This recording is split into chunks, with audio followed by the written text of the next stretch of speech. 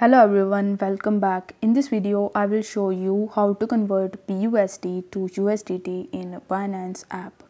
For that, you will have to launch your Binance mobile application and then you just have to log in into your account. Now, once you're successfully logged in, you need to tap on this Binance icon in the top left hand corner. Then you need to tap on More Services.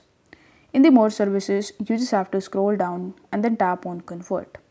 Now over here, you need to first select BUSD in the From section. In order to select it, you need to tap on this drop arrow button over here. And after that, you will have to search for BUSD in this search bar. Then in the To section, you will have to select USDT. So you need to tap on this drop arrow button and after that you need to search for USDT in this section.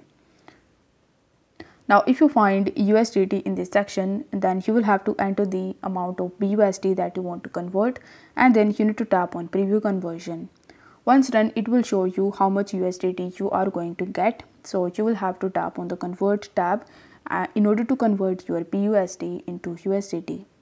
But as you can see over here that if I tap on this drop arrow button and if I search for USDT in this section then unfortunately it is showing me that no records found because as of right now you cannot convert your BUSD into USDT pair. You can convert it into FDUSD so if you want to convert it into this then you just have to preview conversion and then you just have to tap on convert if the video was helpful then don't forget to like the video and subscribe to the channel. Thank you so much for watching